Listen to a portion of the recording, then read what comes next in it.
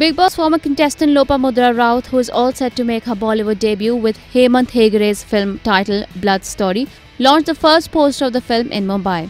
Basically, the movie is a suspense thriller, and when Lopamudra asked that what makes her choose her first film as a thriller, she said, uh, The story revolves around four characters. So I'm one of the four lead characters, and um, it is a suspense thriller. It is something, uh, when I was listening to the story, he's very smart.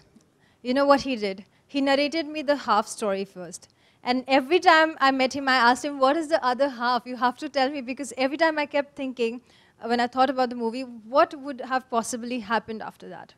इसके बाद क्या हुआ होगा और वो सवाल जो मेरे मन में था मैंने एक ऑडियंस पर्सपेक्टिव देखा ऑडियंस पॉइंट ऑफ व्यू सोचा और मैंने सोचा this is actually a good project to be in because it keeps you so intrigued every time he was narrating a story, I was like this, on the edge of the seat, thinking, uh, what next? Ab kya hone wala? And every time I expected something, something absolutely different happened. So mm, nothing like a project like this, you know. Uh, and I, it's a suspense thriller, which is which generally always does well. So I'm very happy to be a part of it, and I'm very, very, very excited. As usual, Lopa looked stunning in pink outfit at the event. IANS report. Subscribe to our channel. Just click on the bell icon for all the latest updates.